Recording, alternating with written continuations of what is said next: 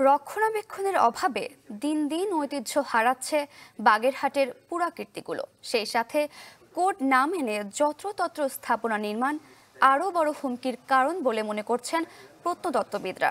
যদিও প্রশাসন বলছে পরবর্তীতে সব নিয়ম মেনে স্থাপনা তৈরি করা হবে।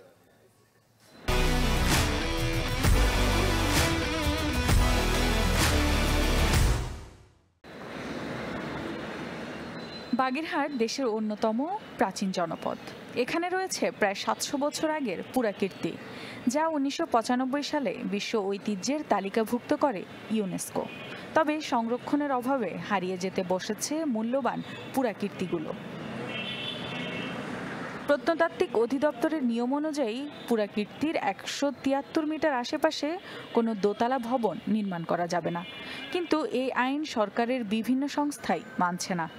এলাকাবাসীর অভিযোগ, পুরাকীর্তি রং করার ক্ষেত্রেও মানা হচ্ছে না কোনো নিয়ম কানুন আইন আছে, আইন অমান্য করে এখানে বিভিন্ন প্রতিষ্ঠান করা হচ্ছে, বিভিন্ন রকমের ওভারব্রিজ করা হচ্ছে এখানে উঁচু বহুতল ভবন তৈরি করা হচ্ছে। প্রকৃতিগুলোর আ- আধুনিকীকরণের নামে বিকৃত করা হয়েছে যা আসলে প্রকৃতির আইন লঙ্ঘন করে। এখনই যদি না ভাবা হয় তাহলে অদূর ভবিষ্যতে এটা একটি ভয়ঙ্কর জায়গায় চলে যেতে পারে।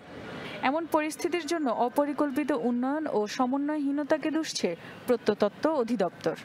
সমন্বয় করে না নেওয়া এগুলোর যত্রতত্র এই ধরনের উন্নয়ন পরিকল্পনার ফলে বা যত্রতত্র স্থাপনা রাস্তা নির্মাণ করার ফলে আমাদের যে বিশ্ব ঐতিহ্য পুরাকীর্তি অবশ্যই এগুলো হুমকির সম্মুখীন। তত্ত্ব অধিদপ্তরের উচিত সবাইকে এই আইনটা সম্পর্কে অবগত করা এবং না মানলে যথাযথ আইনানুগ ব্যবস্থা নেওয়া।